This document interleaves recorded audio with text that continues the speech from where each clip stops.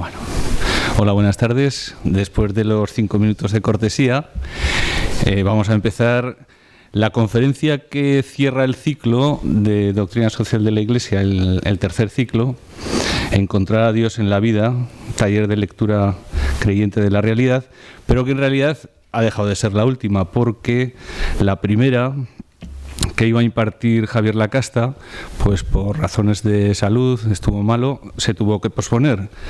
Entonces hemos hecho ahí un hemos buscado una solución a este a este tema y, la semana que viene el día 27, que es viernes, tendremos la conferencia de Javier, Huellas de Dios en la propia biografía, a las siete y media. El viernes 27, aquí en el Salón de Actos. ¿eh? Bueno, y hoy tenemos a. Cerrando, no, cerrando, vamos, con el título de la historia Casa de Dios, tenemos a Enrique Moore, a Quique Moore, que todos ustedes ya lo conocen, que hace unas pocas semanas estuvo también impartiendo otra conferencia en el ciclo de pensamiento cristiano, La mochila ilusoria de la libertad entre Moisés y Sísifo. Eh, la mochila muy apropiada para un hombre alpinista y montañero como él. Y bombero también, los bomberos llevan mochila, ¿no? y en la cima de, de, su trayectoria personal está el que es teólogo. Y nos va a hablar sobre la historia Casa de Dios. ¿eh? Ya en la anterior conferencia eh, se vio esa esas distintas interpretaciones de la historia del hombre, eh, culminando pues con la, con la aportación del cristianismo, cómo ve el, cristianismo al hombre. Y yo me planteaba, a la hora de, de hacer la introducción, pues me he vuelto a ver la conferencia, porque la pueden ver en, en YouTube. ¿eh? La conferencia, todas las conferencias del ciclo de pensamiento cristiano y también de doctrina social de la Iglesia y la de Quique también está. Entonces había ahí una cosa importante que decía que era, eh, afirmaba que la libertad de conciencia es la clave en el pensamiento cristiano, la libertad. Claro, la libertad y la historia, el tiempo, el hombre libre. ¿eh? Y, y hoy también decía Enrique que la historia parece que no existe. El planteamiento que se hace es la historia no existe. Ser libre es entregarse a uno mismo. Esta es la ideología de la posmodernidad. Bueno, y el legado del cristianismo es que algo tenemos que ofrecer y además muy valioso, que resuelve las inquietudes personales, incluso las inquietudes sociales, económicas, políticas, etcétera. Y yo simplemente ya, pues con el título, la historia, ahí tienen el guion que nos ha preparado. La historia, yo por formación soy licenciado en historia y para mí la historia tiene dos vertientes, simplificando. La historia como una serie de acontecimientos en los que el hombre ha intervenido y también está la historia personal de cada uno. Y Dios ni es ajeno a esa historia grande y amplia, ni es ajeno a la historia personal. Entonces, Enrique, cuando quieras.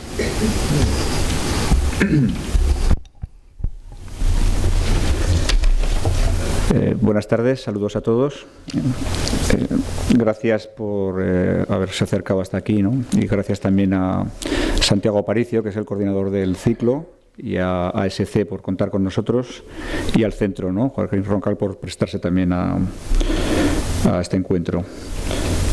Ya lo ha dicho José Ramón, ¿no? esta, esta modesta ponencia es la segunda parte de una que ya pudimos compartir hace eh, dos, dos, tres semanas sobre la libertad y de la cual vamos a recuperar algunos contenidos porque la cuestión de la presencia de Dios en la historia y la libertad humana están íntimamente ligadas. ¿eh? Una no anula la otra y la otra eh, ha de presuponerla la primera. ¿eh? Es una ecuación un poco compleja que ya les adelanto que no podremos eh, desgranar por completo porque ser humano y vivir como un humano es ignorar determinadas cosas como nos muestra el propio Jesucristo, que ignoraba la fecha del final de los tiempos. Entonces, cuando nos asomamos al, al, abismo de la historia, hemos de asomarnos con la humildad de lo que somos y no con la soberbia de lo que nunca llegaremos a ser. ¿eh? en el transcurso de la historia del pensamiento hay muchos ejemplos de este error de base que de forma rápida, porque es imposible verlo todo en este pequeño, esta pequeña exposición, pues eh, retomaremos. Este ciclo se planteó como un taller también práctico de lectura creyente de la, de la realidad. Entonces, detrás de mi exposición eh, hay un pequeño eh, ensayo sobre un episodio muy conocido, que es el de la, bomba atómica en el año 1945, las dos bombas atómicas del final de la Segunda Guerra Mundial, y una, un taller que, eh, que al hilo de unas preguntas compartiremos entre todos. Verán que el subtítulo es Si no creéis, no comprenderéis, unas palabras que pertenecen al capítulo séptimo de Isaías. Si ustedes cuando regresen a casa lo buscan en la Biblia, en su Biblia doméstica, ¿no? en la que utilicen, eh, comprobarán que es otra palabra la que pone. Entonces dirán, este bombero ponente cambia la palabra de Dios. ¿eh? No, eh, hay una explicación. El propio Papa Francisco, en el Lumen Fidei, encabeza el segundo capítulo con esta, con esta cita, que está tomada literalmente de la Biblia griega de los 70 entonces eh, los hebreos pusieron subsistiréis y los griegos entendieron comprenderéis. A la misma raíz. Es una cuestión que, el Papa señala con, mucho interés para hacer ver que la subsistencia en la historia, la subsistencia de todos nosotros, de cada uno de ustedes, de, de, nuestro colectivo, de nuestra sociedad, pasa por comprender, comprender cómo Dios se mueve en la historia. Si no entendemos, si no pensamos que el Señor está detrás de los acontecimientos, eh, no solo no entenderemos nada, sino que no subsistiremos, porque nuestra existencia se volverá un eh, vacío oscuro eh, en el cual no podremos salir adelante.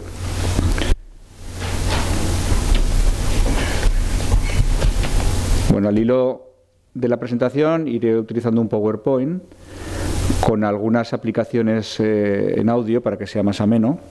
Entonces, esta en concreto está tomada de una película de Woody Allen, Match Point, que no sé si habrán visto, es el comienzo de la película. Entonces, son dos jugadores de tenis y la bola va pasando de un lado a otro de la red hasta que en un determinado momento toca la red, queda suspendida en el vacío y ahí para la imagen eh, Woody Allen, ¿no? Bueno, a ver si, si quiere entrar.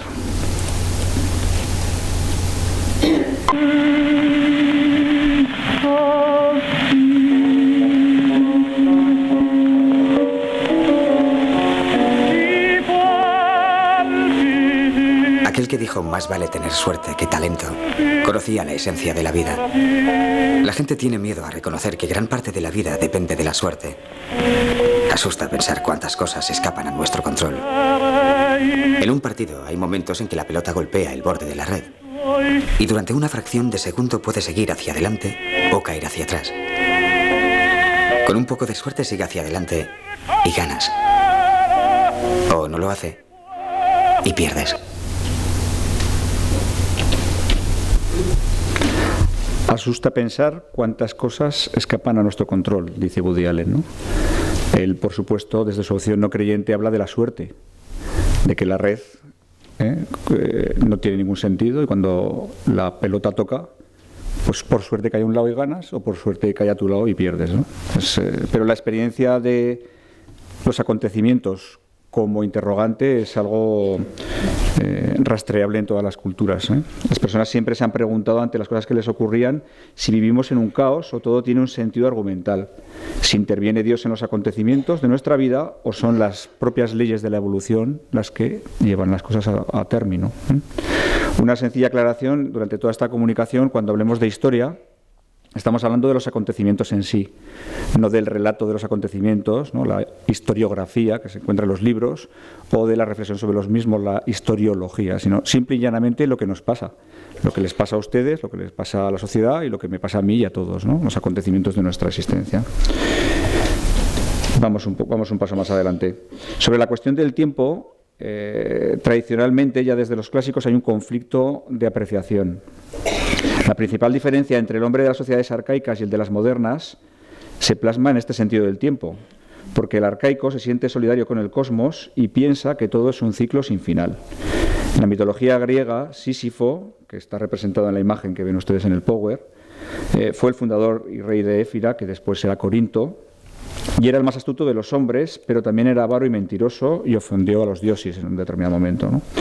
Estos le castigaron a empujar una piedra enorme por una cuesta hasta la cima de una montaña, pero siempre antes de llegar arriba, la piedra le obligaría a descender al valle, teniendo que volver a empezar en un absurdo ciclo sin final. Sísifo es la personificación de la existencia trágica gobernada por un destino eh, fatal, ¿no? el fatum que llaman los clásicos, ¿no? sentido fatal de la existencia. Un tiempo cíclico sin principio ni final ni sentido. Fueron los profetas eh, hebreos, y entre ellos Moisés, como decíamos el otro día, los que eh, desenrollaron este sentido del tiempo y en su noción de, creación, en la noción de revelación que ellos habían recibido, encontraron una historia con un principio y un final, y en medio un sentido, un sentido a todos los acontecimientos. Dice el teólogo alemán eh, que el drama del, hombre moderno, del hombre y de la mujer modernos, eh, consiste en que como no saben de dónde vienen ni saben a dónde van, en medio se hayan perdidos. Eh, ciertamente el hombre clásico también estaba en eso, porque también estaba en un ciclo absurdo, ¿no?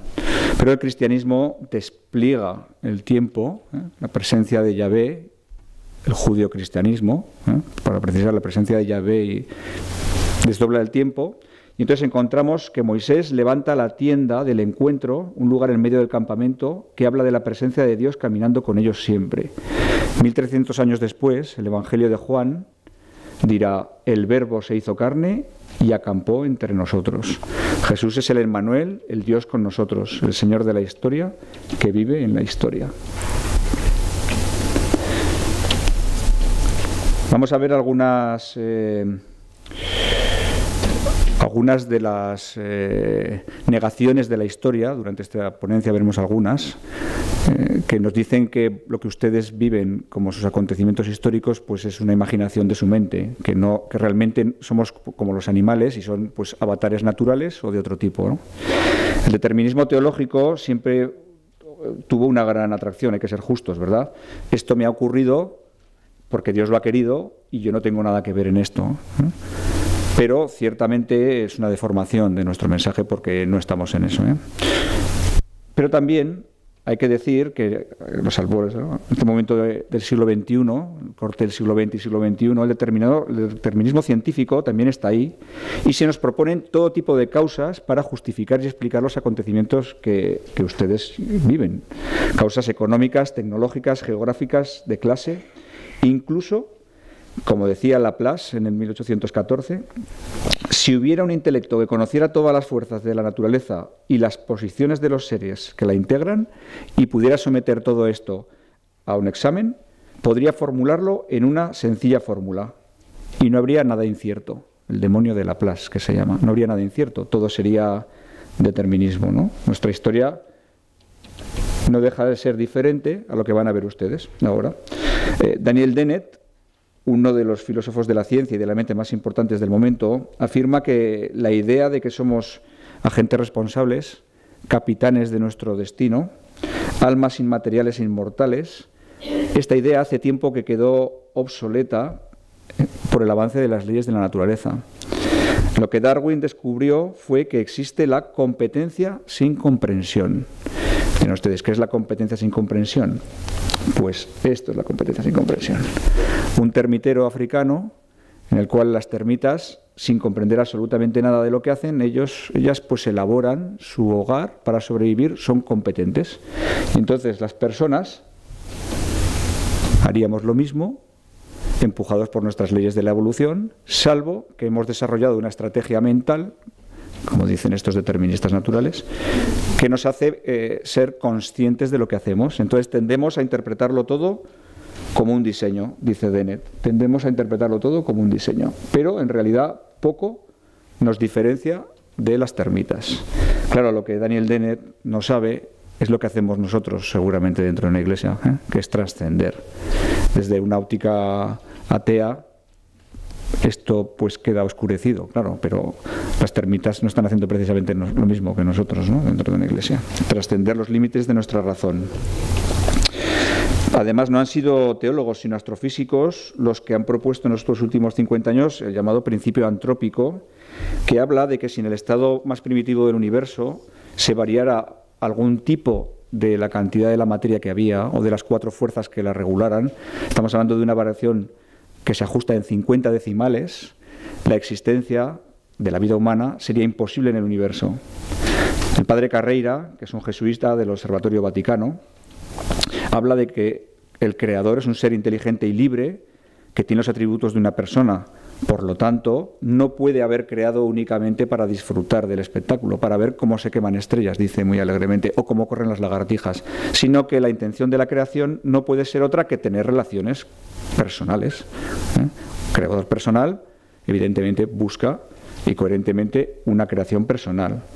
Y en esta línea, el pensador eh, catalán eh, José María Coll, que es profesor nuestro en San Cugat, siguiendo a Ferdinand Ulrich, que concibe el ser como amor, señala que necesitamos entrar en relación con un tú personal para ser auténticamente humanos, como el niño que en esa mirada que ustedes ven, que esa mirada que intercambia con su madre, se desajusta de su instinto natural y entra en el mundo de lo humano, en el mundo de la comunicación, en el lenguaje. El lenguaje es el truco definitivo que da el salto del animal al hombre con historia, ¿eh? el, el salto del lenguaje, y entonces el niño empieza a tener historia. Los animales no tienen historia. Un perro es exactamente igual ahora que hace 4.000, que hace 5.000, que hace 10.000 años, salvo los pequeños cambios evolutivos. Los seres humanos de 10.000 años aquí hemos tenido muchos, eh, muchos avatares, muchas circunstancias, ¿no? Tenemos historia. La concepción bíblica de la historia eh, la señala como lugar de revelación divina. Como hemos visto anteriormente, se afirma que fueron los hebreos los primeros en oponer eh, a la concepción lineal del tiempo, una concepción, eh, perdón, a la concepción cíclica del tiempo, una concepción lineal del mismo, ¿no? Esto quiere decir que fue en Israel donde se encontró por primera vez la revelación con la historia, la revelación con los acontecimientos que nos ocurren. Dios habla al hombre, al hombre que tiene acontecimientos en el día a día. Y esos acontecimientos no quedan fuera de esa revelación, sino que son el lugar privilegiado donde tiene lugar ese encuentro. No podemos ni predecir las intervenciones de Dios en la historia ni saber la forma en que se van a realizar, porque esto sería dejar de ser humano y ser divinos. Pero eh, sí que nos han sido reveladas algunas cosas. San Gregorio Nazanceno, un padre del siglo IV, habló de la paciencia de Dios y de su forma de actuar. Lo define como un buen pedagogo o un buen médico que lentamente va retirando ciertas costumbres y tolerando otras en nosotros, como haría un buen médico o un buen pedagogo, llevándonos a hacer progresos por nuestras propias fuerzas. Un buen médico eh, receta y prescribe la cantidad de medicamento necesario para que el paciente, por su propio sistema inmunológico, vaya avanzando. ¿no?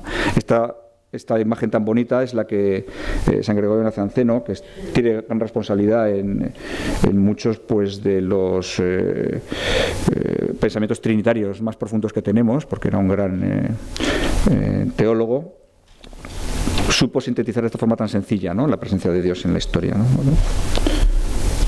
Bien, aunque toda la Biblia es, tanto el Antiguo como el Nuevo, es fundamentalmente histórica, no quiere decir que sea un libro de historia pero sí que utiliza la historia para hablar teológicamente. Son especialmente los libros que denominamos históricos los que tienen este marcado carácter, ¿verdad? Eh, resumir ahora toda la historia de Israel sería básicamente imposible, pero sí que me van a dejar, les pido un poquito de paciencia, que dé unas pequeñas pinceladas, porque pretendo llegar a un episodio, un episodio en el siglo VI, que es el exilio en Babilonia, que tiene una lectura muy interesante a nivel personal y a nivel social, ¿no? y más en un momento como el que estamos ahora de, grave crisis eh, de valores y de, identidad. Las acciones del Señor, de Dios, las cantan los salmos, las celebraciones de Israel las conmemoran, el Antiguo y el Nuevo Testamento nos relatan eh, palabras y hechos que están intrínsecamente ligados y que unos y otros se, confirman mutuamente, como dice el Concilio Vaticano II en Dei Verbum II. ¿no? Las palabras y los hechos se confirman mutuamente. ¿no? De la bondad de todo lo creado, da fe el Génesis nada más empezar, en el capítulo 1, diciendo que vio Dios todo lo que había hecho y era bueno. Pero algo debió ocurrir porque el hombre, dotado de dominio sobre las cosas y sobre sí mismo, es señalado por San Pablo claramente en contradicción, pues no hago lo bueno que deseo, sino que obro lo malo que no deseo.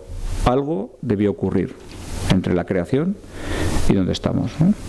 En cualquier caso, eh, llegado el momento, Dios llamó a Abraham y tras la época de los patriarcas, Israel se encuentra esclavizado en Egipto en el siglo XIII a.C. y clama a Yahvé su Dios. El Éxodo nos dice, literalmente, he escuchado la voz de mi pueblo y he bajado a librarlo. Estos episodios, la elección, el Éxodo, la alianza, la entrada en la tierra prometida, todos estos episodios históricos, están íntimamente vinculados entre sí e hicieron que Israel viera definitivamente a Yahvé como protector y señor de su historia. Digamos que antes del exilio, antes del, éxodo, perdón, Israel, eh, los patriarcas tenían un noviazgo, ¿eh? yo lo entiendo así, un noviazgo con Dios, pero en ese momento, en el Sinaí, es cuando tuvieron el compromiso, la alianza, el matrimonio definitivo. ¿eh? Progresividad. Sus obligaciones serían cumplir las cláusulas, las cláusulas de la alianza como pueblo santo, consagrado a Yahvé y llamado a glorificar su nombre entre las naciones. Llegamos así al episodio, a los años anteriores, que tienen que ver con lo que yo quería contarles sobre el exilio. Tras entrar en la tierra prometida, las tribus se asientan, estamos sobre el año 1050 más o menos, cuando llega la monarquía con David, y su hijo Salomón construye el templo completando los símbolos nacionales, ley, templo y monarquía. Esto es eh, su identidad. ¿eh? ¿Eh? Esos, esos, signos aglutinan al pueblo y le dan la identidad. que somos? Somos judíos y tenemos ley, templo y monarquía. Tras Salomón, el hijo de David, poco les duró esa unidad, ¿verdad? Se dividieron en el reino del norte y el reino del sur por diferentes intereses que no vienen a cuento. En cualquier caso, este es el momento en el que empiezan las, entre hermanos, empiezan las, eh, las disputas y las divisiones. ¿De acuerdo? En el año 722 es cuando situamos las palabras de Isaías, que son el subtítulo de esta conferencia. El rey Acaz, en el sur, totalmente asediado y asustado eh, por lo que tenía alrededor, eh, intenta pactar con los asirios y el profeta Isaías le dice que únicamente debe poner la confianza en Yahvé y que no debe confiar en los reinos de alrededor.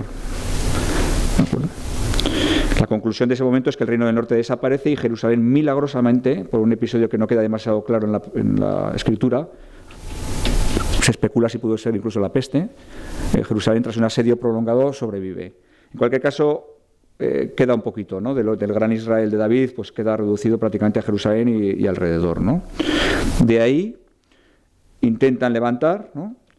Y ya directamente nos vamos a ir al episodio del, exilio, que es, que es, dos siglos después. Los profetas les fueron, les fueron diciendo constantemente los desmanes que estaban haciendo, por dónde estaban yendo y que únicamente deberían apoyarse en, en Yahvé, pero el pueblo pues eh, llevaba su marcha, eh, sus pactos, sus historias y estaba dándole la espalda. Por un lado era el pueblo de Yahvé, pero por otro lado no eran fieles a la alianza. La situación se volvió crítica cuando en 587 Nabucodonosor eh, pues nada, destruye el templo en dos oleadas, eh, acaba con lo que queda de, Judá, lo que quedaba del templo del sur, y se lleva, como ven ustedes en la flecha, ¿eh? a los judíos esclavos a Babilonia, nuevamente esclavos. Han vuelto otra vez a donde habían empezado. Además, Nabucodonosor no debía ser precisamente muy tolerante, o sea, cuando arrasaban, arrasaban. ¿eh? Es de suponer que habría grandes matanzas y, la peripecia sería seria. Lo pueden ustedes encontrar tanto en los libros históricos como en, los profetas que hablan de ello, ¿no? Pues Jeremías antes de y Ezequiel en medio, ¿no? Y Ezequiel muestra al pueblo eh, cautivo en los canales de Babilonia, haciendo ladrillos y nuevamente cataclismo religioso y nacional. ¿Qué es lo que ha ocurrido? Pues eh, si nosotros somos el pueblo de la alianza y Yahvé nos iba a proteger, ¿qué es lo que nos ha ocurrido? ¿De acuerdo? Es, es un eh, cataclismo total. 50 años después, una generación, en el exilio falleció una generación entera, una generación nueva, se encuentra con que un nuevo poder, es el poder persa con Ciro, derrota a los caldeos y permite el regreso, el regreso a su tierra de los judíos. Y en el caso de Ciro era un rey tolerante y tolera su religión, con lo cual llega el momento de la reconstrucción nacional y de la reflexión. Y ahora llegamos a donde yo quería aterrizar con toda esta peripecia. Hemos sido esclavizados por un poder extranjero, hemos sido liberados por un poder extranjero, aunque no hemos recuperado la autonomía política ni la autonomía que teníamos antes de, y en medio nos hemos sentido abandonados por el Dios de nuestra alianza, aunque los profetas nos dicen que lo que ha ocurrido es que hemos sido nosotros los que hemos abandonado al Dios de esa alianza y ahora nos da una nueva oportunidad. Llega el momento de la reconstrucción nacional y de la reflexión. En la palabra, la escritura, nos, han, eh, nos ha sido eh, diseminada toda esta reflexión durante todos los libros, porque ellos reflexionan mucho. ¿no? Este es el momento en el que se ponen por escrito la mayoría de los libros que tenemos al regreso del exilio, como un gran esfuerzo de, reflexión. Eh, hay dos tradiciones, la historia deuteronomista, que son siete libros, y la cronista, que son cuatro. Tampoco tiene demasiada importancia esto. A mí lo que me interesa es decir que cada una de ellas, de estas dos tradiciones que reflexionan sobre lo ocurrido, llega a una conclusión diferente. La historia deuteronomista hace hincapié en la necesidad de una conversión personal esperanzada en Yahvé y en su salvación. Después de todo lo vivido, se dedica a restaurar personas, a restaurar el corazón de los creyentes. Y así en Ezequiel 11 leemos, les arrancaré el corazón de piedra y les daré un corazón de carne. Hacen una lectura de conversión personal. Y la escuela cronista, es un poquito más tardía, pero también es sincrónica, lee los mismos eh, hechos, pero llega a una conclusión diferente, compatible pero diferente. Y es que la vida de Israel depende de su fidelidad a Dios y que esta fidelidad se expresa mediante las instituciones, la ley, el culto y la verdadera piedad. Una escuela intenta restaurar personas, otra escuela intenta restaurar instituciones. Y ambas dos están en la palabra de Dios como palabra inspirada y revelada y nos han sido transmitidas como tal. ¿Qué quiere decir esto? Sospechamos que ante las situaciones de crisis, como intentaremos hablar al final de esta ponencia, hemos de restaurar estas dos realidades, a las personas en sus valores y a las instituciones y a las sociedades en sus elementos de, configuración. Me permitirán que dé un salto y vamos a pasar de el antiguo Israel nada más y nada menos que al final de los tiempos. En medio está el Evangelio, que será el que nos dé la piedra, la piedra de toque para nuestra reflexión en común. ¿no? Lo voy a dejar para el final. El final de los tiempos, la parusía, el regreso del Señor. El último libro del canon bíblico es el Apocalipsis. Es un lenguaje, tiene un lenguaje teocéntrico, difícil, lleno de simbolismos, en el cual Dios es el Señor absoluto y todopoderoso del mundo y de la historia, Nadie puede escapar al dominio del que está sentado en su trono y asimismo a Jesús se le aplican los títulos divinos diciendo que es el alfa y la omega, el principio y el final. Cristo es el hilo de la historia y habla a sus iglesias a través del Espíritu. Pero la insistencia del Apocalipsis en un juicio de Dios no se puede separar nunca de la confianza en que Dios está con los hombres y que secará toda lágrima y aniquilará todo el dolor y la muerte, dice el capítulo 21 en unas palabras preciosas, secará toda lágrima. Pero Dios no actúa directamente en el mundo, sino por medio de intermediarios. Y el mediador por excelencia es Jesús, a quien ha revelado su plan salvífico. Jesús es la clave de interpretación de toda la historia. Uno de los rasgos característicos de la literatura apocalíptica en todos sus libros, ¿no? Eh, el Apocalipsis, por supuesto, y en algunas eh, referencias del Antiguo Testamento también, es el lenguaje simbólico, como hablábamos. ¿no? Hay símbolos de todo tipo, eh, de tipo animal, geográfico, matemáticos, es extremadamente complejo y simbólico. Pero no deja de ser una incongruencia que un libro cuyo título quiere decir revelación, Apocalipsis quiere decir revelación, se nos muestre como incomprensible y difícil. Esto lo que revela es que simplemente no hemos sido instruidos en su lectura, no se nos ha enseñado a leer el Apocalipsis y a entenderlo.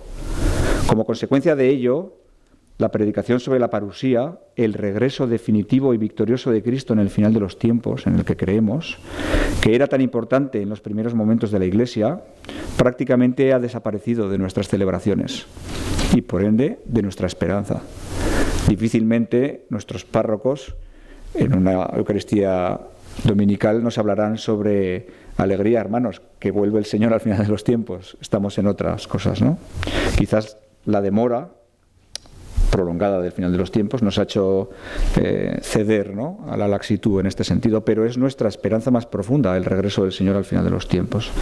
En su lugar, nuestra sociedad ha introducido otras categorías, otras escatologías de corte secular, como el rey Acaz Hemos sustituido la confianza en Cristo por la confianza en el hombre. Y así confiamos en el progreso científico, la tecnología, los avances artificiales, que nos llevarán a un futuro feliz, eh, más allá del sufrimiento que tenemos actualmente y que hipotéticamente consumarán la historia en una perfección. Incluso en sentido contrario, la posmodernidad ha introducido en el lugar de la parusía el nihilismo, la nada, la no existencia de nada. Como Dios no existe y todo es un caos, vivamos cada momento y disfrutemos, dominando sobre todo. Y esto nos llevará a una existencia más allá del dolor cotidiano. Son filosofías de la historia que están sustituyendo, como dice Karlovich, a la teología de la historia cristiana que es la auténtica y primigenia. ¿no? Es un proceso de sustitución. Como es totalmente eh, farragoso y imposible hablar ahora sobre toda la teología de la historia y la filosofía de la misma en sus formas, he seleccionado únicamente dos estandartes, que además son dos primeros, porque iniciaron escuela ambos, San Agustín y Voltaire, para señalar esa oposición entre la lectura creyente y la lectura eh, ni siquiera atea, sino alejada del sentido de providencia. La lectura no providente sería la verdadera definición.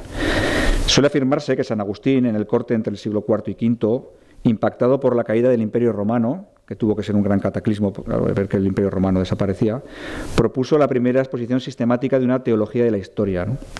Teología es reflexionar sobre Dios y teología de la historia sería la reflexión sobre la presencia de Dios en la historia, precisamente lo que estamos haciendo ahora, ¿no? intentamos hacer, y que al final intentaremos aterrizar, por si alguno se está poniendo nervioso.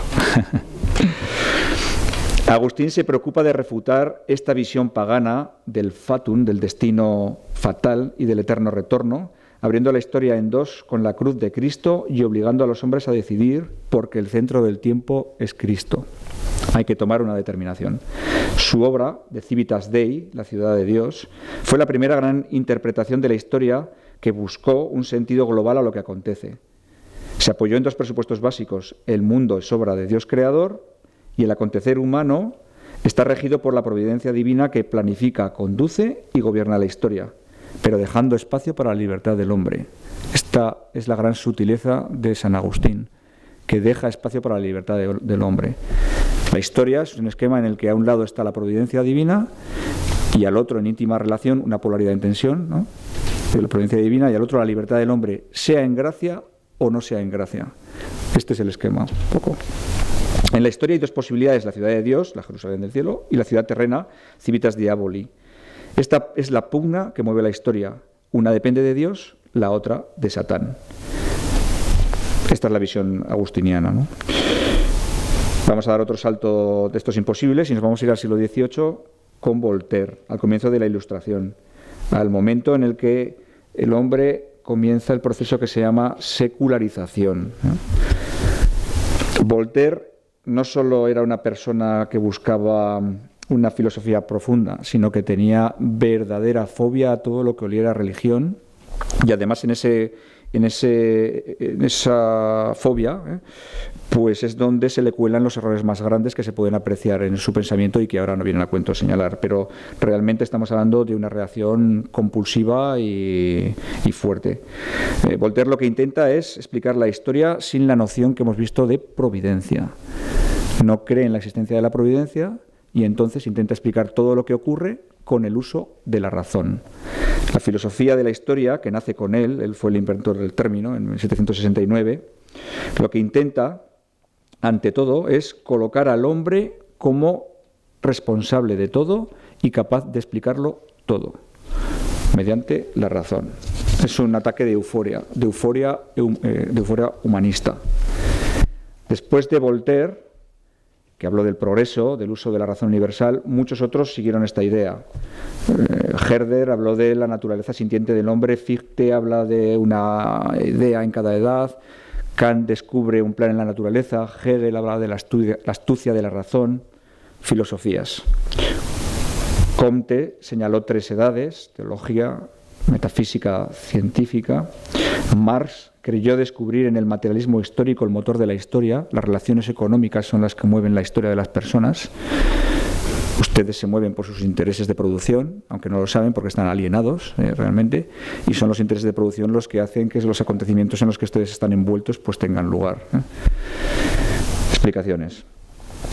Pero llegamos al siglo XX, al gran cataclismo de la Segunda Guerra Mundial, amigo.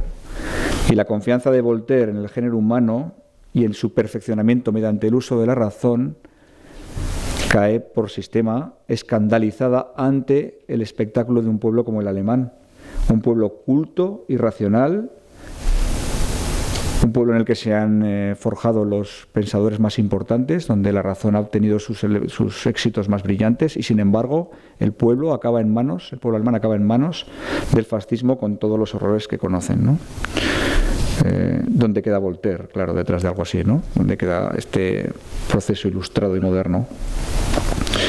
Como consecuencia de este gran batacazo, eh, la época posindustrial o posmoderna, como llaman otros, a mí me gusta quizás más posindustrial, pero bueno, posmoderna, negará toda conexión entre los acontecimientos, negará todo poder a la razón universal para tener una, una, una idea, una idea en común, y verá la historia como una sucesión caótica de individualidades sin relación de ningún tipo y sin presencia de ningún tipo de, providencia divina, por supuesto. A este caos de acontecimientos unirá la cuestión del relativismo y del individualismo extremo. Y en esto estamos, ¿eh? en el individualismo extremo, en el relativismo y en la inexistencia de conexión entre nuestros eh, eh, acontecimientos. Pero el cristianismo, por su parte, que comienza con la enseñanza de Jesús, yo soy la verdad y la vida, sin mí nada podéis hacer, como vemos en el Evangelio de Juan, continúa afirmando que la providencia divina es el medio por el cual Dios conduce las cosas, las cosas hacia sí. Venimos de Dios y hacia Él nos dirigimos. Los creyentes seguimos esperando el regreso del Señor que colmará todas nuestras esperanzas y como señala Benedicto XVI, cada Eucaristía es parusía, en un pensamiento precioso. Cada vez que asistimos a la Eucaristía, el Señor regresa de nuevo. ¿eh? El segundo regreso, el que esperamos, se va materializando en el ya, pero todavía no.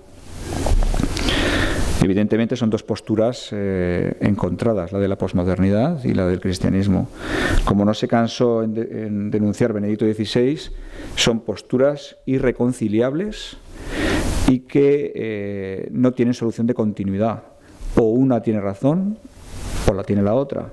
Pero es difícil que podamos encontrar un punto de no de aproximación, porque siempre, se puede aproximar uno a alguien, pero, pero hay una marcada incompatibilidad ¿eh? entre estas posturas, incluida, por supuesto, su faceta eh, científica, el determinismo. ¿no? sus mentes verdaderamente son el producto de las leyes de la evolución y no las decisiones que ustedes toman, sino que las decisiones que ustedes toman son un truco, un truco de la ley de la evolución para hacerles conscientes de las mismas, pero nada más. Vamos a dar otro paso más, un paso evangélico que nos va a llevar al Evangelio de Marcos. Hemos visto el Antiguo Testamento, hemos visto el final de los tiempos, un poquito de filosofía, y he escogido el Evangelio de Marcos porque para mí espiritual y personalmente es especialmente eh, revelador de cómo se mueve Dios providentemente en nuestras vidas. Los otros también lo son, claro, ¿verdad? ¿Eh? Pero podemos elegir este por, como, como vía de entrada a nuestra reflexión posterior. El Evangelio de Marcos es el más antiguo de los cuatro evangelios, el más corto que nos ha llegado, eh, atribuido a Juan Marcos, pariente de Bernabé, compañero de Pablo, escrito probablemente entre los años 55, 60 y no está claro, por supuesto, eh, escrito tras recoger tradiciones orales que vienen desde el momento de la predicación del Señor, en griego popular, koiné, con influencias semíticas, Pero lo verdaderamente importante es que tiene un marcado carácter narrativo y tiene mucha vivencia en los relatos. El Evangelio de Marcos tiene interés porque los relatos sean un vehículo de revelación. Y presenta al Jesús resucitado en las mismas condiciones en las que actuó en Galilea, en la debilidad, la incomprensión y el fracaso aparente como medio eficaz de ofrecer la salvación a todo hombre. Es una gran paradoja, la salvación ofrecida en la debilidad y el fracaso. La paradoja creyente. Leer a Marcos supone tomar conciencia de que Jesús, por su obra en la debilidad, es el cumplimiento de la promesa de que Dios reinará. La revelación de Jesús como algo histórico, pero como una, como una epifanía oculta, es decir, como una revelación que respetará la libertad del hombre, pero a su vez estará abierta a su percepción. Ser cristiano implica tener buena memoria y los ojos abiertos, porque pasan muchas cosas muchas cosas que se nos pueden olvidar o muchas cosas que se nos pasan desapercibidas, pero están ahí, están ahí y están ocurriendo. Hay que tener los ojos abiertos y tener buena memoria. Y la Virgen guardaba, guardaba todo eso en su corazón. Asimismo, Jesús impone diversos tipos de silencio y manda callar a los demonios para que no muestren su naturaleza, y estos le obedecen. Manda guardar silencio a sus discípulos sobre su mesianismo y su transfiguración, y le obedecen quiso pasar desapercibido, no quiso que se le viera en su verdadera eh, entidad divina para que no le creyeran con una fe milagrera. De hecho, ordena callar a los testigos de los milagros, pero eso sí, estos no lo obedecen, porque aquello debía ser él no va más y eso sí que no se lo pudieron callar unos a otros. Y así el Papa Francisco, retomo sus palabras, recuerda que si no creemos, no comprenderemos. Si no creemos, no subsistiremos. Quédense con el verbo que les parezca más oportuno de Isaías 7. Si no creemos, lo pequeño pasará inadvertido a nuestros ojos y la mano divina de su Dios creador en su propia existencia quedará desapercibida. Benedicto XVI escribió que las grandes cosas comienzan siempre en un grano de mostaza. Habrán oído esta, parábola muchas veces. ¿no? En la imagen se ve cómo es un grano de mostaza.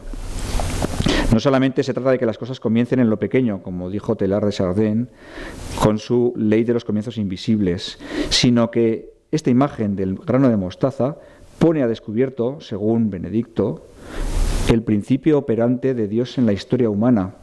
El Papa lo definió como la predilección por lo pequeño. Marcos 4:31, la parábola de eh, grano de mostaza, afirma que el reino de Dios es la más pequeña de las semillas que después se convertirá en la más grande de las plantas. Este es un árbol de la mostaza, por si alguna vez no lo hayan visto. Que siempre hemos oído todos la parábola, pero la imagen no la tenemos, pero realmente es un árbol poderoso. ¿eh? La Tierra, un pequeño planeta en el vasto universo, albergó y alberga asimismo a un pequeño pueblo, Israel, en el que en un modesto lugar, en un pequeño pesebre de Belén, Dios ha elegido un pequeño punto para, acercarse a los hombres. Haciéndose igualmente un hombre pequeño, eligió una mujer desconocida para ello. Y la semilla poco a poco, con paciencia, fue creciendo y continúa creciendo. En la fe, en la caridad y en la esperanza. El obrar providente de Dios hace crecer lo grande desde lo diminuto. La pequeña semilla con el tiempo será un gran árbol y las, las aves anidarán en sus ramas, como dice Marcos. Bueno, pues esto eh, es bonito, ¿verdad? Queda muy bien y, y nos gusta a todos, ¿no? Pero hay que aterrizar. Hay que hacerlo visible en los acontecimientos de nuestro día a día. Entonces, para ello he elegido, un poco arriesgadamente, un episodio de la, de la historia que seguramente ustedes conocerán, las bombas atómicas que dieron... Eh, que cayeron, porque no dieron final a la guerra mundial, que cayeron ¿no? Eh, al final de la guerra mundial en el 45, y cómo se gestó tanto su uso como su posterior eh, eh, propaganda política. Así se mueve la historia. Así se mueve la historia. Vamos a, la Convención Demócrata del 45. Les pido un esfuerzo de imaginación porque van a escuchar el audio y yo les iré explicando algunas cosas para ir viendo eh, de todo lo que hemos esbozado, vamos a intentar situarlo en esta, en esta historia. Vamos a empezar por el grano de mostaza, como pequeñas cosas, pequeñas decisiones tienen eh, consecuencias dramáticas y drásticas en la historia. En esta convención demócrata, en enero del 45, las bombas cayeron en agosto, estamos seis meses antes de las bombas. El presidente es Roosevelt, tiene que presentarse a una cuarta reelección que la ganaría pero yo no sé muy bien cómo funciona el sistema de primarias americano. En cualquier caso, en aquella época el vicepresidente se lo elegía el partido también. No lo elegía el presidente, sino que el partido. Es como una elección dentro de su propio ¿no? Entonces, eh, había varios eh, contrincantes. Uno era Wallace y Burns, otra gente y tal. Y el último, un desconocido, era Truman, que es el que saldría después elegido como presidente de Estados Unidos. Ya eso llegaremos después, ¿no? Wallace era el vicepresidente titular con Roosevelt y era una persona de eh, grandes valores sociales, con mucha cultura y desde luego no era un belicista ¿eh? ni un armamentista. Pero en esta convención pues ocurrieron muchas cosas tiempo que lo Realizada el primer día, mostró que un 65% apoyaba a Wallace como vicepresidente. Jimmy Burns tenía un 3% de los votos y Truman ocupaba el octavo lugar con un 2%. Cuando Wallace llegó a la convención, los líderes sindicales Hillman y Murray habían cumplido con su parte. Habían acudido miles de seguidores de Wallace. Murray, con su fuerte acento escocés, gritó a su gente, Wallace, eso es, seguid adelante. El futuro debe traer la igualdad de salarios para los mismos trabajos al margen del sexo o la raza. Los aplausos interrumpían constantemente el discurso de Wallace. Los gritos de queremos a Wallace llenaron el salón. Alguien se apoderó del sistema de megafonía y puso la canción de campaña de Wallace. Su estribillo decía, Iowa, Iowa, donde crece alto el maíz. Furioso, Ed Polly amenazó con cortar el sonido de los amplificadores. La victoria en la votación estaba casi asegurada. La nominación de Wallace era segura. El senador por Florida, Claude Piper, comprendió que si conseguía meter el nombre de Wallace en la nominación aquella noche, este arrasaría en la convención. Se abrió camino entre la multitud para llegar hasta el micrófono, pero los dirigentes estaban exigiendo al presidente de la sesión que la cerrara. Este caos puede acabar en incendio, gritaban. Sin saber qué hacer, Jackson sometió a votación el cierre de la sesión. Unos pocos dijeron sí, pero la abrumadora mayoría gritó no, y a pesar de todo Jackson tuvo el descaro de anunciar que se había aprobado el cierre de la sesión. Fue un escándalo. En el salón reinaba la confusión. Piper había empezado a subir los escalones del estrado. Estaba a un par de metros, quizá nueve segundos del micrófono, cuando los dirigentes forzaron el fin de la sesión contra la voluntad de los delegados. Si hubiera conseguido nominarle en ese momento, no hay duda de que Henry Wallace habría sido reelegido por una aplastante mayoría para la vicepresidencia. Lo que yo entendí escribió Piper, fue que para bien o para mal la historia se había vuelto del revés aquella noche en Chicago. Samuel Jackson se disculpó ante Piper al día siguiente y Piper escribió en su autobiografía que Jackson le había dicho tenía estrictas instrucciones de Hannigan de no dejar que la convención nominara al vicepresidente. Bien, dice dos metros, 19 segundos impidieron que el representante de Florida metiera su voto por Wallace en la, en la urna que tenía que seleccionar. Y él comprendió que en ese momento la historia se había dado la vuelta. Porque el, que, el candidato que tenía un, casi un 70% era Wallace, con el discurso que han oído ustedes mismo trabajo, mismo salario, un discurso social y ponderado, ¿no? Pero las eh, intrigas internas de los partidos aupan a la vicepresidencia a Truman, un desconocido, manipulado por los políticos de los grandes estados, eh, una, pues un pucherazo, vamos, como otro cualquiera, ¿eh? Un pucherazo aparentemente sin mayor importancia porque el presidente es Roosevelt, entonces el vicepresidente, bueno, pues va a estar haciendo otras cosas, pero no va a tener el poder directamente. Dos metros, 19 segundos un pequeño, ¿eh? un pequeño grano de mostaza, que no tiene demasiada importancia. Bueno, damos otro paso adelante.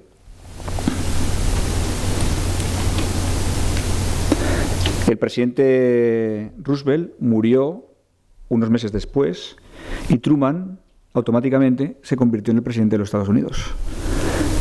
si hubiera salido Wallace en esa convención, habría sido Wallace, pero como en esos dos segundos cambiaron la historia, fue Truman el que eh, se ocupó el poder. Yo no tengo nada contra Harry Truman, por supuesto, ni lo conozco, ni, pero evidentemente ahí hubo, aparte era una persona que no estaba no tenía la preparación de Wallace, ni siquiera era, esto se puede rastrear en muchos libros de historia, lo llaman la oportunidad perdida, ¿no? Para el pacifismo eh, americano. Bien, entonces eh, Roosevelt toma el poder el 12 de abril del 45, la guerra está prácticamente terminada en Europa de hecho, Hitler se suicida al final de ese mes, con lo cual el, frente, el único frente que queda abierto es el del Pacífico, con Japón resistiendo al final. Eh, ya saben ustedes que Japón rendía un culto eh, divino a su emperador, con lo cual eh, las, las, condicionantes allí eran diferentes que en Europa, de otra manera, esa guerra. En cualquier caso, eh, consideraban los generales consideraban que la guerra se iba a terminar militarmente pronto y además había una amenaza que es que los propios rusos querían intervenir también. Y en el momento que los rusos intervinieran en esa guerra esto se iba a terminar. Pero Truman por razones desconocidas y por esa contradicción que tenemos las personas dentro pues decidió echar la bomba atómica porque sus generales Eisenhower MacArthur eh, le recomendaron que no era necesaria, que era moralmente reprobable y que no era necesaria esa bomba atómica. Y él mismo declara en sus eh, diarios que considera la bomba como algo atroz y que puede llevar al exterminio a muchos pueblos y tal, y, que duda sobre el honor de que sea Estados Unidos el primero en utilizarla, pero eh, a la vez la, a la, vez la consigue echarla. Esa contradicción en la que se mueve la historia. Hacemos, eh, no hago lo que yo quiero, sino que lo que no quiero. El que firmó la bomba, el lanzamiento, o sea, el que tuvo, digamos, que, firmarlo, un militar, dice que no es que, que, Truman decidiera tirar la bomba, sino que simple y llanamente no se opuso. Eh, las fuerzas de la historia también van llevando las cosas hacia su dirección y hacia su sentido. Pero fíjense, en dos segundos, en 19 metros, lo que lo que ¿eh? ¿Eh? pasamos de un presidente que hubiera sido más pacifista a un presidente superado por las circunstancias y arrastrado por un belicismo eh, del momento. Estados Unidos llevaba tiempo ya, los aliados, vamos a ser justos, llevaban tiempo bombardeando ciudades ya en un régimen que ahora seguro sería constituido como crímenes a la humanidad, seguro, porque algo hemos aprendido. Los bombardeos de Dresde, bombardeos de Hamburgo, eran bombardeos civiles que se empezaron tímidamente y que acabaron siendo masivos. O sea que esta, escala belicista a nivel eh, eh, civil tiene un pasado, o sea, la bomba no sale de la nada, sino que realmente es una consecuencia final, ¿no? Bombardearon muchísimas ciudades sin tener en cuenta que pues la gente estaba allí, ¿no? 6 de agosto, el, el bombardero B-29, pilotado por Paul Tibbets, que lo llamó Enola Gay, conocido nombre de su madre, lanzó la bomba de uranio Little Boy sobre Hiroshima a las 8 y cuarto de la mañana eh, sobre un objetivo fijado en el centro de la ciudad, un puente. La bomba a 600 metros estalló, produciendo temperaturas de 3.000 grados, carbonizando todo un área de aproximadamente 2 kilómetros de radio. Mató a 140.000 personas eh, de ahí a final de año y en el 50 calcularon que eran 200.000 personas las que habían fallecido. Tres días después, Stalin decidió entrar en la guerra del Pacífico y eh, había estacionado un millón y medio de soldados en el frente de Manchuria y decidió entrar. ¿no? Pero este acontecimiento ha pasado casi desapercibido porque la propaganda de Estados Unidos nos ha hecho pensar que el lanzamiento de la bomba atómica fue eh, el que terminó con la guerra. ¿eh? La propaganda, la manipulación también, así se mueve la historia. ¿no? Realmente, de hecho, el mismo día que los rusos entraron en el frente, eh, los americanos tiraron la segunda bomba atómica. 40.000 muertos en Nagasaki. Pero a Japón realmente los bombardeos no le, daban un poco lo mismo, porque llevaban años, eh, años no, pero vamos, eh, meses o año y medio bombardeándole ciudades. 40.000 muertos con una bomba o 40.000 muertos con mil bombas. En el fondo a ellos les daba lo mismo. Aparte el emperador vivía en otra escala que no tenía relación con este tema. ¿no? Lo que verdaderamente les hizo asustarse y venirse abajo fue, como dijo el primer ministro Suzuki, La entrada de los rusos en la guerra destruyó automáticamente toda nuestra esperanza y empezamos, empezamos a sentir realmente que el emperador Hirohito iba a ser destruido y perderíamos nuestra institución más importante para nosotros.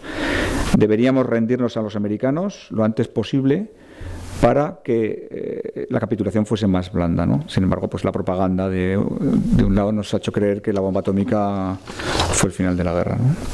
Pero fíjense en nada. ¿eh? Eh, tenemos todo lo que hemos visto, ¿no? determinismo, leyes que van llevando hacia un sitio, contradicciones humanas en los gobernantes que hacen que, que las cosas no, no salgan como tengan que salir, pequeños matices decisiones morales mínimas que tienen consecuencias, consecuencias serias. Es un, un espectáculo, ¿verdad? En Hiroshima, Truman, a bordo de la Augusta, iba de un miembro de la tripulación a otro anunciándoles la gran noticia como un pregonero de aldea. Esto es lo más grande que ha ocurrido en la historia. En respuesta a esto, la activista y pacifista católica Dorothy Day escribió, Hemos matado a 318.000 japoneses. El señor Truman estaba exultante. El presidente Truman, hombre verdadero. Extraño nombre, ahora que lo pienso. Nos referimos a Jesucristo como Dios y hombre verdadero. Truman es un hombre verdadero de su tiempo, porque estaba exultante. Truman cuando le llegaron las noticias, estaba en la fragata que ustedes ven, ¿no? en el mar, y como ha dicho el texto, ¿no? el archivo, estaba exultante, era un hombre de su tiempo. La dinámica de belicismo en la cual había caído la humanidad en ese momento era tal que una persona podía llegar a tener semejante pensamiento atroz ¿no? en, una, en una situación como esta. Bueno, eh, hasta ahí lo que ocurrió, ¿no? Sabemos lo que viene después porque conocemos la historia y nos recuerda mucho a lo que pasó en el exilio, detrás del exilio hebreo. ¿no? Eh, los judíos llegaron a la conclusión de que debían restaurar sus corazones y restaurar sus instituciones. Ante semejante atrocidad, cuando, los, cuando pasó el conflicto, la humanidad llegó a la conclusión de que debía restaurar sus corazones y nació el pacifismo como nunca ha nacido. De hecho, hay autores que no viene a cuento, pero hay autores que dicen que ahora es cuando menos violencia hay sobre la faz de la Tierra, ¿eh? con cifras, ¿eh? porcentajes de violencia, cuando estamos más pacificados, aunque parezca increíble, ¿de acuerdo? Y también restauramos nuestras instituciones, que no son perfectas, desde luego, pero nace la ONU, nacen los derechos humanos, nacen determinadas cosas que detrás de una gran crisis que tiene su origen en una pequeña eh, negligencia humana, ¿no? en un pequeño desliz moral, ¿de acuerdo? Eh, pues eh, hacen resurgir a la humanidad, ¿no? Este es, este es un poco el mecanismo de la historia con muchas comillas, porque es imposible entenderlo. Pero en nuestras vidas también ocurre esto. Muchas de las cosas que nos pasan son fruto de esas micro decisiones que, como diría a lo mejor San Agustín, si las tomáramos en gracia de Dios, tendrían otro sentido. Pero como somos libres para tomarlas, las tomamos como las tomamos, ¿no? Y así funcionan las cosas. Como les he comentado al principio, eh, si no creemos no subsistiremos.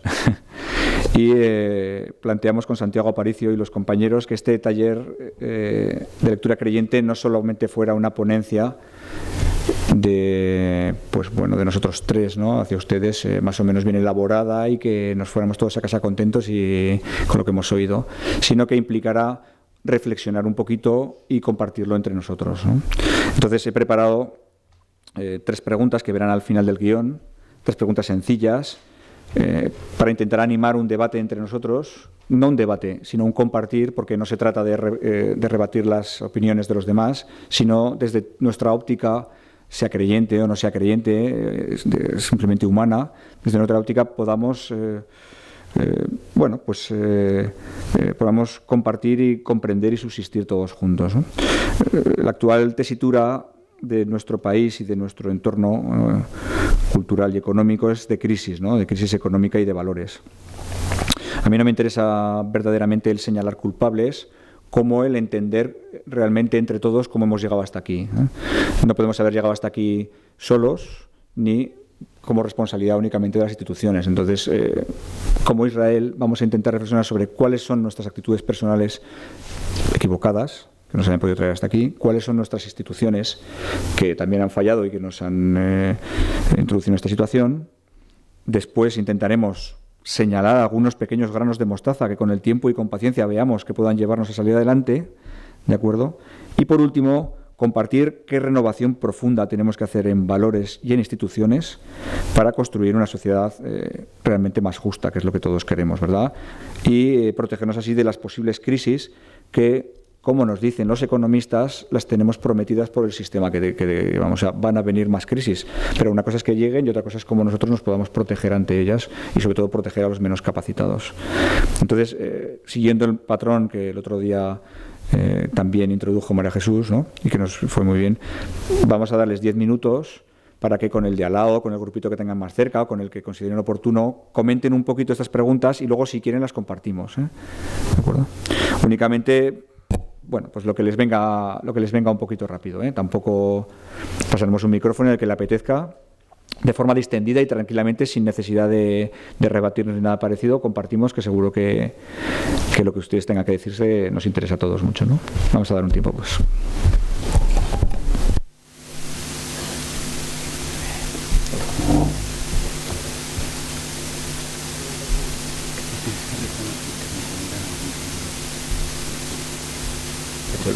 Historia, de la historia.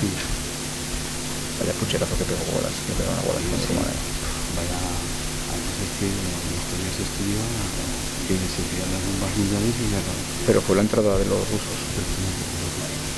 Fue la entrada de los rusos lo que la tenían, que los tenían ahí, sabía que tenían un millón de soldados en la frontera y sabían que en el momento que entraran en la frontera les quitaron que era toda la colonia que tenían más productiva, se la, se la arrasaron en el día 9 de agosto, a tiraron la otra bomba pues para nosotros se ha quedado para la historia que tiraron otra bomba y que se hundieron.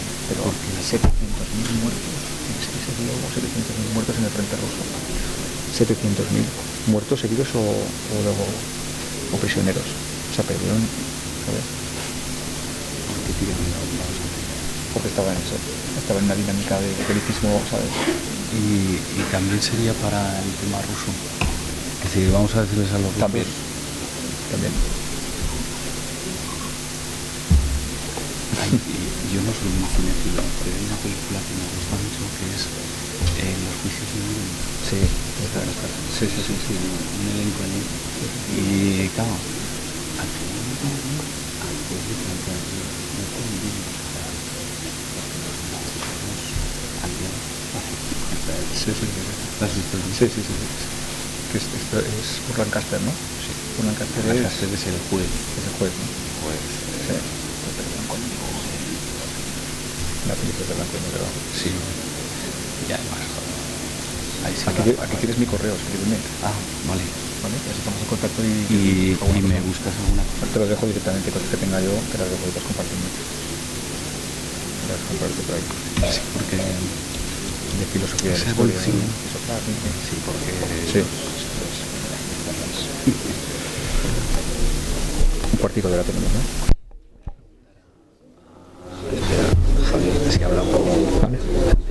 Yo me lo bajaré. Bien. Les veo hablando animadamente, pero tenemos un problema de tiempo, entonces he querido reservar el último cuarto de hora por lo menos para el compartir, que seguro va a ser lo más bonito de lo que hagamos hoy. ¿eh? Habíamos introducido el tema hablando también de que estábamos en la posmodernidad, que más allá de que sea compatible con nosotros o sea incompatible, lo que está claro es que después de semejante colapso como fue la Segunda Guerra Mundial, es normal que la humanidad eh, recele de lo que del pensamiento que le había llevado hasta ahí, ¿no? Es una consecuencia totalmente normal. Pero indudablemente la, la posmodernidad va a pasar. El manto posmoderno que lo cubre todo, de caos y de, y de irracionalidad en el sentido de dispersión, de todo el sentido de negación del sentido de todo, esto va a pasar. Entonces, la Iglesia, la Iglesia, todos nosotros, hemos de estar preparados para el gigantesco, gigantesco reto que se nos viene encima, que es el de dar nuevamente respuesta a las preguntas de, que nos van a hacer ¿eh? y dar razón de nuestra esperanza, como dice la primera carta de Pedro. Y es que nos va a llegar porque no se puede vivir de esa manera, con lo cual más tarde, más temprano, nuestros sobrinos, nuestros hermanos, nuestros vecinos, nuestros seres queridos, nuestras novias, nuestros maridos, nos van a preguntar de alguna manera porque hay sed, hay sed de, esperanza y de sentido ¿no? en nuestra sociedad. Así que eh, está bien que reflexionemos sobre la crisis y sobre las cosas de valores que tenemos. Bien, ¿quién se atreve, quién comienza contándonos qué actitudes de las personas y de las instituciones nos han traído hasta aquí? ¿Quién puede señalarnos alguna, alguna actitud?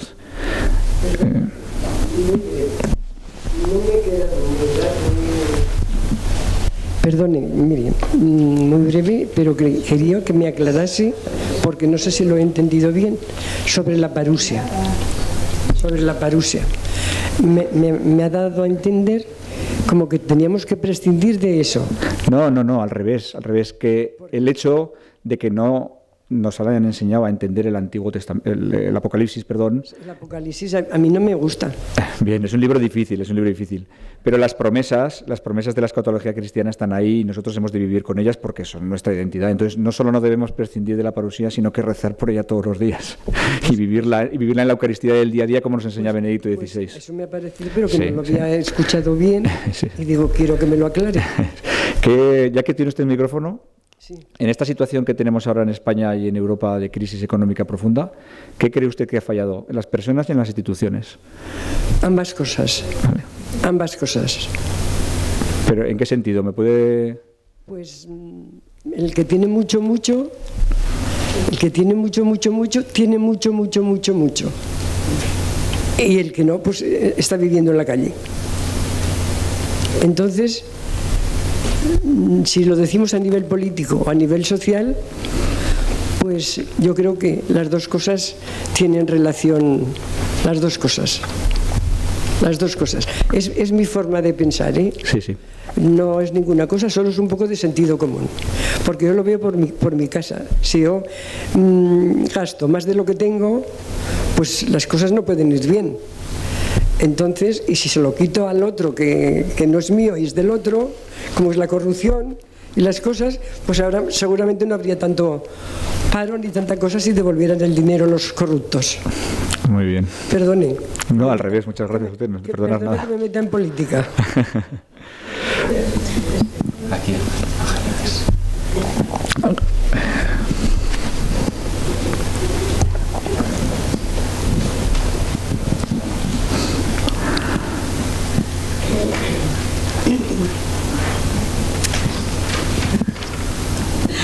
A ver, preguntas que ante la actual crisis económica y de valores que vivimos, ¿qué actitudes en las personas y en las instituciones han contribuido a esta situación? ¿no? Bueno, pues hemos llegado a la pequeña conclusión dentro del poco tiempo que tenemos de que esto ha sido motivado por... Habla un poquito más alto, perdona. Esto ha sido motivado por, por cómo cómo nos movemos en una libertad malentendida a su libre albedrío, eh, sin valorar dónde está el verdadero bien y el verdadero mal. Hasta ahí. Muy bien. ¿Alguien ha identificado más valores eh, eh, fallidos en las personas? Sí, usted. De la primera pregunta. Sí eh, lo de las actitudes de las personas e instituciones. Yo pienso que hemos modernizado la Torre de Babel. Hemos querido construir una torre diciendo vamos a llegar hasta el cielo, nosotros somos los chulos. Y además hemos cogido de trabajadores a todos esos pueblos donde les estamos sacando las materias primas. Y hemos hecho la torre ya tan alta que se nos ha caído encima. Yo pienso que tienen culpa las personas y las instituciones que son las que sirven a las personas y que va a ser muy difícil encontrar ahí un resquicio eh, porque incluso los políticos están subordinados a las grandes empresas y todas esas cosas, sobre todo pues todo lo que estaba cayendo por aquí de España. Pero sobre todo es el orgullo y la soberbia de ser más de que Dios. Yo pienso que por ahí va la cosa. Muy bien, muchas gracias. Eh, la hermana del fondo creo que... Yo no sé porque estuve muchos años fuera en África por ahí, pero mm, sé de España no sé muy bien. Pero yo creo que en general que el hombre moderno, sé, las actitudes estas que es que se le ha dado mucha confianza, demasiada confianza a la razón eh, exclusivamente y también ignorancia. Mm, hay mucha ignorancia de la verdadera fe, creo. Basta ver los chicos y dicen soy ateo a los 15 años, a lo mejor por la calle, a lo mejor han hecho la primera comunión seguro, no, ni saben lo que dicen, creo. Y aparte de la ambición de poder, que se ocurre siempre, pero también, eh, yo no digo la tecnología, usted lo ha dicho antes, lo del cientifismo, sí. Sí, demasiada, demasiada confianza en la ciencia, la técnica, el dinero, todo eso. Creo, pero no sé. Sí, sí, sí, muy bien. Vamos a como el, tiempo apremia un poco, seguimos un poquito adelante porque creo que además en esto estamos todos bastante de acuerdo, ¿verdad? Eh, eh, Benedicto XVI tuvo unas palabras al comienzo de la crisis que no han tenido demasiado eco, pero fueron certeras como prácticamente casi siempre sus lecturas, ¿no? que señalaba la ambición como el origen de todo este problema, ¿no? la ambición de las personas y la ambición de las instituciones. Qué bonito es comprarte una camiseta a tres euros de moda sin pararte a pensar quién la ha producido, cómo se ha hecho eso. ¿no? Eh, es una cuestión de ambición en la que ninguno podemos levantar la mano.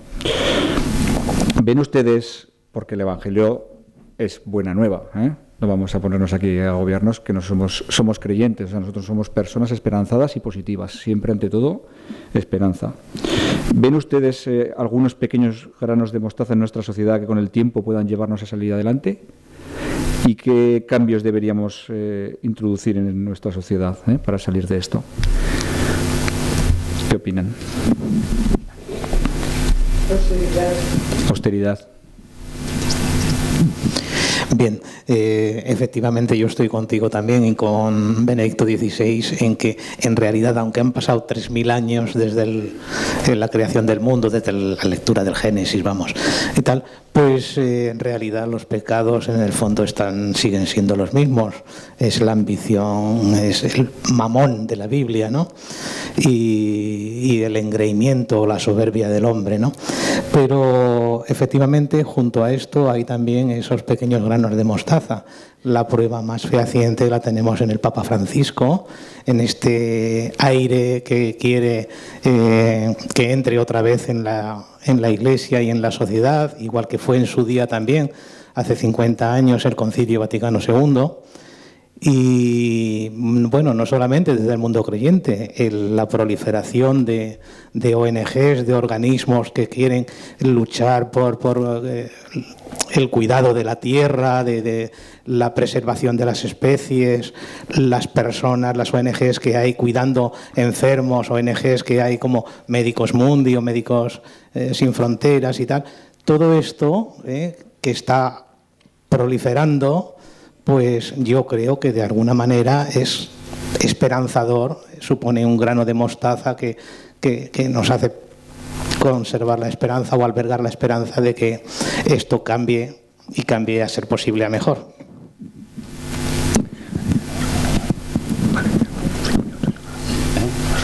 Yo pienso que hay muchos pequeños granos de mostaza en tanta gente buena que va sembrando el bien por todo, solamente que hemos de cambiar la mirada y comenzando por las instituciones, quien tenga poder, los preparados para cambiar un poco este sistema de informativo que tenemos yo diría, gracias a Dios que existe Internet. Es verdad que puede hacer cosas malas todos, eh, pero también puede difundir mucho bien, porque lo que nos dan en general en España vale poquísimo. Por ejemplo, no pensamos ¿eh? Como creyentes cristianos en esos 25 mártires que ayer tuvimos, coptos, de la iglesia copta, que es la iglesia más antigua o de las más antiguas, todos lo sabemos. y con qué serenidad han muerto, porque en sus caras, la verdad, hay que verlo. Y son mártires, todo eso son granos de mostaza. Entonces, eh, pienso que lo peor, lo peor, lo que aborta todo, es la falta de esperanza. Y el, egoísmo que se nos va metiendo para no acordarnos de los demás, porque cuando sales ves gente maravillosa, de verdad, creyente y a lo mejor las más sencillas. Yo ahora diciendo a los teólogos, cuando los teólogos os molestaréis, perdón por la expresión, en recoger la teología del pueblo de Dios, de las pequeñas gentes, que también es necesaria, no solo la de los textos y los libros, que no tengo nada contra ello y es necesario, pero vamos, es que si no creéis, no comprenderéis. Por eso no comprendemos. Porque no creemos. Porque no creemos. Dios es el dueño de la historia. Creemos eso. Y la humanidad ha padecido en tantos millones de años, ha padecido tantísimas plagas, desastres y ahora mismo. Entonces, eh, está lleno de granos de mostaza el mundo. No lo vemos, porque no creemos. Pues sí, no puedo más que suscribir lo que dice de los teólogos, que nunca estaremos lo suficientemente de rodillas. Totalmente de acuerdo ¿eh? con los anteriores. Eh, lo único que yo añadiría en, respecto a la tercera cuestión es que, claro, si, si dejamos de pensar en el bolsillo personal y nos centramos en un humanismo pero global, es decir, abriendo las puertas al amor y a la búsqueda del bien común, entonces será lo que puede, ese puede ser el motor que empiece a mover la sociedad para bien. Porque hasta ahora el individualismo, el enriquecimiento, el hacer las cosas mal, como decía Pablo, queriéndolas hacer bien, el dejarme llevar porque es muy fácil y entonces todos como ganado nos dejamos llevar, es más fácil dejarme llevar que ponerme a pensar y entonces a veces hay que pararse y ponerse a pensar. Muy bien, pues lamentablemente, perdón, el último, sí. Estamos en hora, podemos hacerlo. bueno, mm, bueno, nosotros hablando como grano de mostaza, súper importante vemos la educación a nuestros hijos pero una educación no una normal, porque yo, bueno, esto es una cosa, una opinión nuestra, ¿eh? Yo cuando dimos a pareja, yo que mi hijo que sea una buena persona, pues hijo, yo no creo que mi hijo quiero, quiero que sea una buena persona. Yo creo que los políticos de hoy en día y sindicatos, yo creo que les han educado como buenas personas, pero valores profundos para que sepan luchar con lo que les viene de alrededor no los tienen. Y bueno, yo hablo ya de valores cristianos. Entonces yo mis hijos no, quiero, no quiero que sean buenas personas, sino que tengan unos valores, unas raíces profundas, por supuesto los padres darle ejemplo, si a mi hijo le, dijo que, le digo que ya vale de ir los viernes, que son muchos a cenar, que el consumo que tal y cual, bueno, pues tendría que dar ejemplo, porque si luego los padres nos vamos cada dos por tres, pues entonces darle ese ejemplo y nuestros hijos tengo claro que son los futuros barrenderos, políticos, alcaldes, o sea que es que los tenemos que educar con contracorriente y al que lo hizo todo bien lo crucificaron, bueno, pues lo que nos toque. Muy bien. La educación, desde luego, la educación es una llave, es una llave de cambio, sí. Bueno, pues muchas gracias, Enrique. Eh, muchas gracias a ti y a todos los que habéis participado en elaborar, en, llevar el trabajo para sacar estos ciclos hacia adelante. A Santi Aparicio, que bueno, yo estoy en representación suya porque hoy no ha podido venir, ¿eh? si no hubiera estado él. Y únicamente recordar que el lunes que viene seguimos con el ciclo de pensamiento cristiano. Isaías, el profeta poeta, con Maripaz Díez. Y el día 27 viernes recuperamos la conferencia y recuperamos también al ponente que ya está mejor de salud, gracias a Dios, que será bueno pues el día 27, viernes a las siete y media. Muchas gracias a todos por asistir.